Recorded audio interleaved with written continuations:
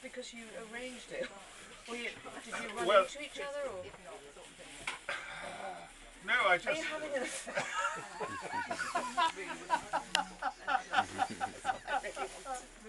No, she lives in Tunbridge Wells, which is not far away.